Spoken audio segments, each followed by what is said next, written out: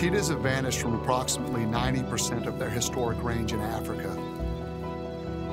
and are extinct in Asia, except for a single isolated population of perhaps 50 individuals in central Iran.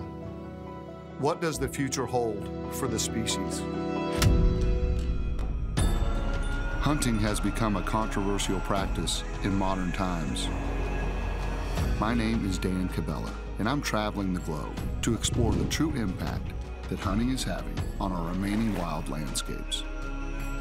This practice goes as far back as human history can remember. But does it have a place in modern conservation?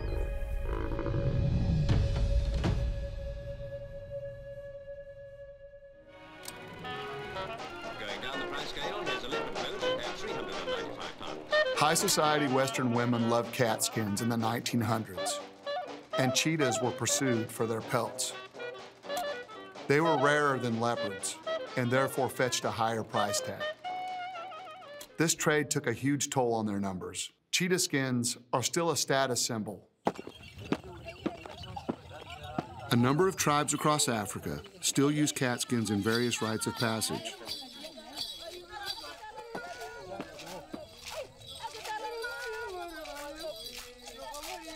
DNA studies of those skins indicate that they have been traded from thousands of miles around. This demand still enables an illicit trade in leopard and cheetah skins across Africa today, putting further pressure on declining populations. There are estimated to be only 7,100 cheetahs left in the wild. Cheetahs are listed as vulnerable by the International Union for Conservation of Nature, and the vast majority of their remaining population occurs in South Africa and Namibia. These wide-ranging cats need a lot of space to roam, Space has become an increasingly scarce resource, especially for wildlife. Cheetahs are not a huntable species in Africa, but their home range overlaps with many areas where hunting is the allocated land use. In the case where these areas provide well-functioning ecosystems with abundant prey, reintroduction efforts could serve to dramatically expand their range and populations across Africa once more. I'm traveling back to the continent to participate in an ambitious relocation of our own. The reintroduction of an apex predator is something our family has become familiar with through the lions that were reintroduced in the Zambezi Delta ecosystem a few years back. In 2018, when we brought the lions in, we didn't have any idea whether it would be a success or whether it wouldn't be. We've got now three times more lions than we had when we brought them in. However, cheetahs are a more sensitive species, and a lot of research was required to determine when they were last in the area before we can proceed with any reintroduction, the ethical thing to do is to prove that cheetah occurred here historically. I started sifting through literature on English hunters that moved through this area in the late 1800s and early 1900s. And there was a book written called Wild Game Hunting on the Zambezi, written by a chap called Maugham. Goodness gracious, there it was. You know, uh, cheetah, page 178. Cheetahs or hunting leopards are not very numerous in the Zambezi Valley, occurring most plentifully where reedbuck and other small antelopes are common. I have also seen them in the Mulanje district of Portuguese East Africa. So then I thought, okay, we've got this, but we just have to make sure that the area that he's referencing is in Marromeu. And I went onto Google Maps and I typed that name in and I couldn't believe it. It's practically where the Zambezi River goes into the sea. I mean, it's right at the mouth of the delta. That was our historical record. The records confirmed that this area in Mozambique was indeed once home to cheetahs. We studied the history and determined the risks were worth the effort to try to restore these magnificent creatures to the landscape. With the evidence required to back us up, we undertook the largest cheetah reintroduction ever attempted in history. So we had to go and collect these animals from conservation landscapes across southern Africa.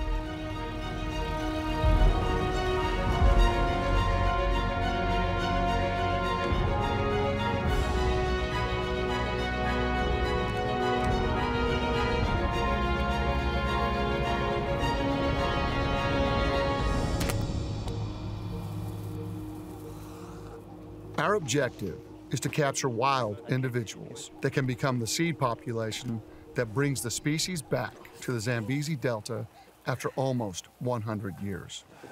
Go right through your.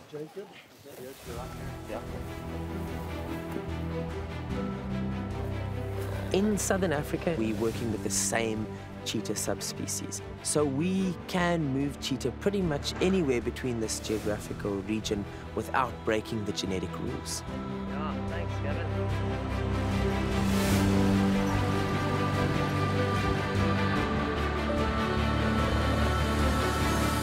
We decided on holding them at a central quarantine boma manned by an experienced wildlife veterinarian called Dr. Mike Toft.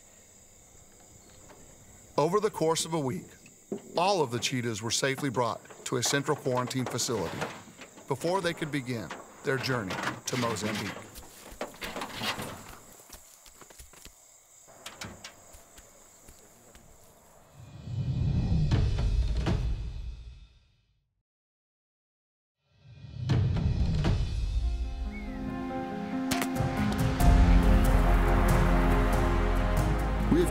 10 suitable wild individuals from across southern Africa that are to become the seed population that will restore them to the Zambezi Delta once more. They are being held in a quarantine facility or BOMA before they begin their journey to Mozambique. The cheetah arrived in individual batches, so we put them into individual bomas. Four, two, three, and a one. Uh, off we go. We're off to the cheetah again because reintroductions need fine scale monitoring. We're going to want to identify the cheetah. At the moment, I'm doing my best to build up a really good identity kit based on their unique spot patterns.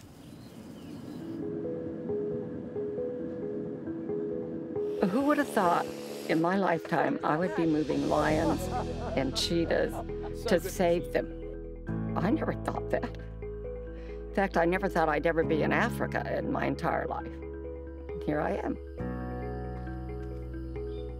For me personally, the Cheetah Initiative is just another way of giving back and trying to recreate the way that it once was.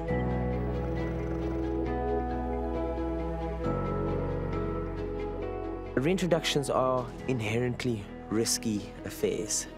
And as a result, we lose about 15% of the cheetah that we'd relocate between protected areas. For this particular reintroduction, we looked no further than Dr. Peter Caldwell. Of the 6,000 cheetahs that he's immobilized and relocated, he's lost only one animal. Give me four. I've just loaded my darts. I'm going to do one solitary female and then the three Pilanesberg ones. With all 10 cheetahs in one place, it's time to begin the last step of the process, preparing them for their journey to Mozambique.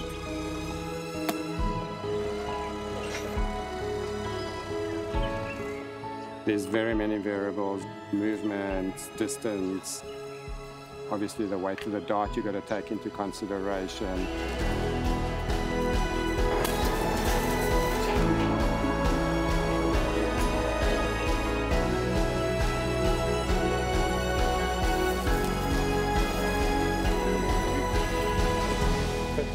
Fifteen in the there, and then uh, The team moves as silently and quickly as possible to minimize the stress on the cats.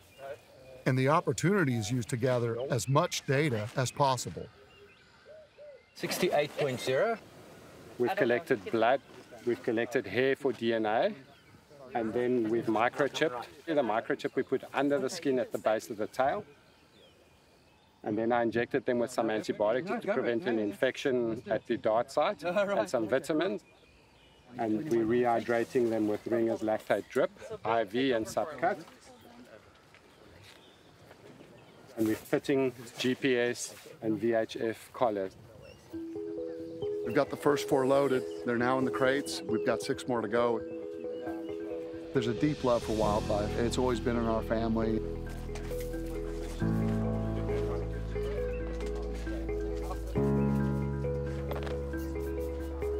Working a little bit against time and light. So we've got the ninth, second last one, and they're a little bit skittish. We're just waiting for the last one maybe to come to the carcass. We're about to cross the first finish line. So we're very excited and it's been an excellent day for cheetah conservation.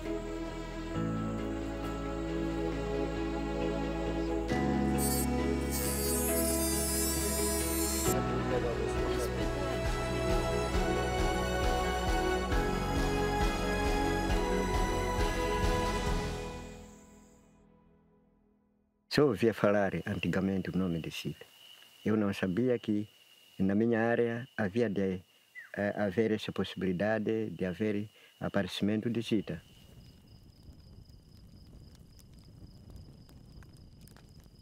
Nos anos passados, quando houve guerra, houve muita caça furtiva.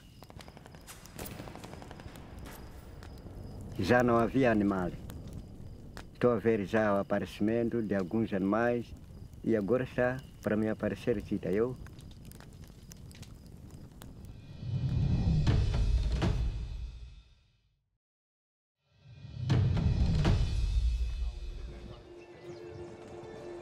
It's been a very productive first afternoon here. We now have our cheetahs loaded.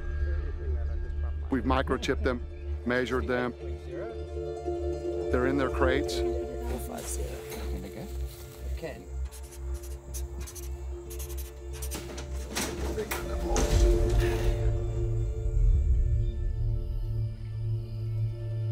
We're loading them on the planes this morning. It's going to be a big day for the cheetahs and a big day for all of us. I can't wait till we get through customs and into Mozambique.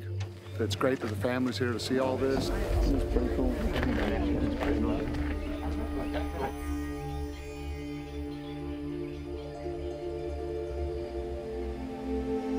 What an exciting day, eh? It's either really good or really bad because it's really quiet.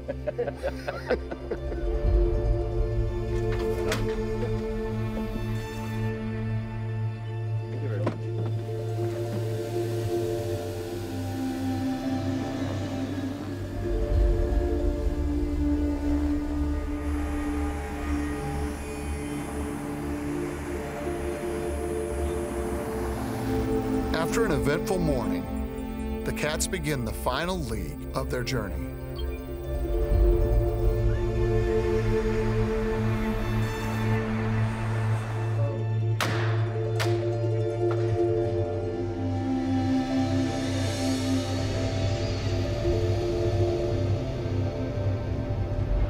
The research team and community members both eagerly await the arrival of the new residents.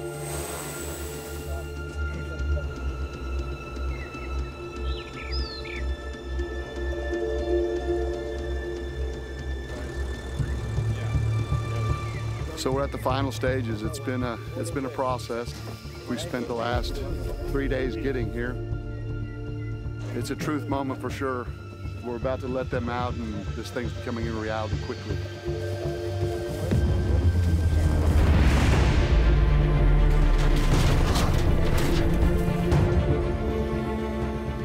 Cheetahs were once hunted to nearly extinction, and uh, this is a vast hunting area.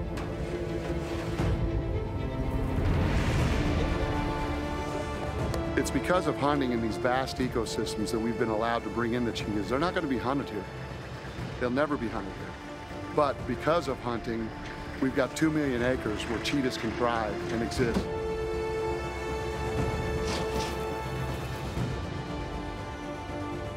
Our foundation has decided to protect ecosystems. By protecting vast landscapes from top to bottom, everything benefits.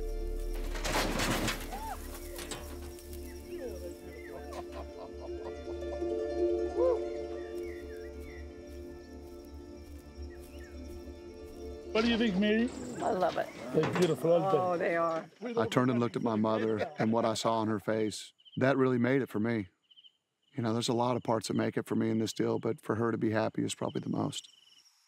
The cheetahs are kept in a holding facility for three weeks before their release. You want to give the cheetahs some time to acclimatize.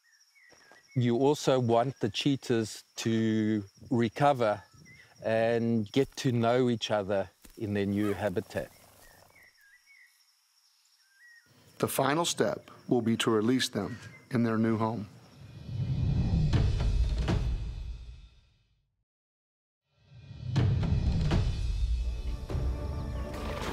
We have successfully relocated 10 cheetahs to the Zambezi Delta ecosystem. However, they need time to acclimatize and recover before they can be released into this vast landscape. Unbelievable. If you can keep 2 million acres intact, it's not just about cheetahs and lions. It's about everything that inhabits that 2 million acres.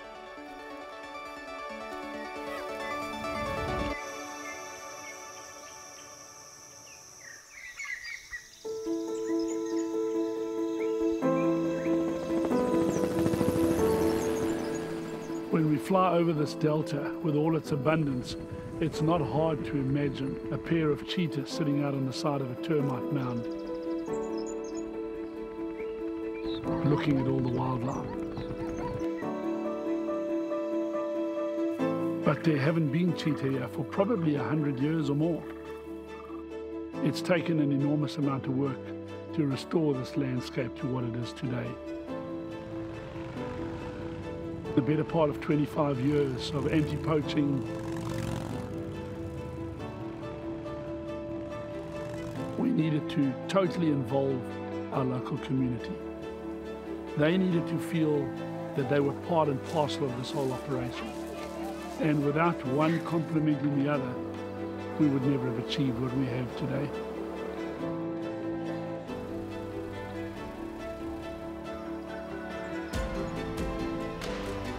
Now we have the cheetahs in the boma. The plan is to release them within about a month. It's an emotional moment to feed them for the last time before they head out to become the wild cheetahs they're meant to be.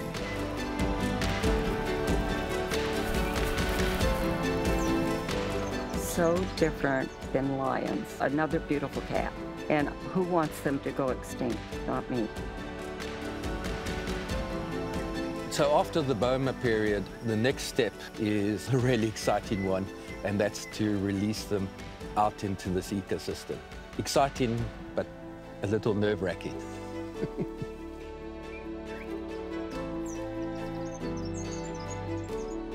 Before you release the animals, it's important to know that the animals are relaxed.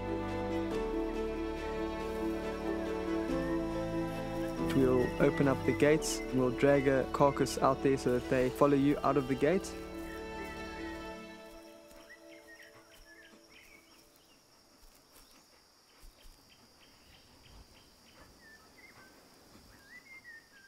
It's really important to understand these introductions and get really good at them.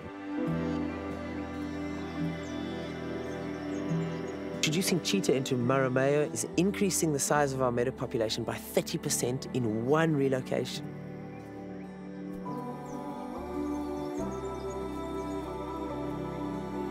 There's not a lot of places left with 2 million acres. And when you look at their commitment to wildlife conservation and understand that, that, that you don't have to agree with hunting, but having a hunting concession protects such a vast space. Hunting was once the cause of the species' decline. It has come full circle, and it is hunting that has created viable ecosystems for them to repopulate. Knowing that they're out there makes me really proud of the difference that hunters can make.